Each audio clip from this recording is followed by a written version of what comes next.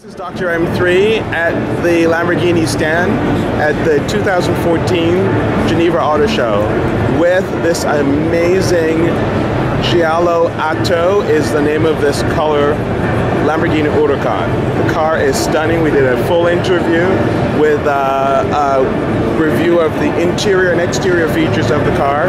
We'll post this uh, in the next uh, few days, uh, but stay tuned. This is uh, amazing. You're not going to want to miss this review. This is a stunning car, beautiful lines, and don't be surprised if uh, you see us uh, testing this on the roads in the next few months.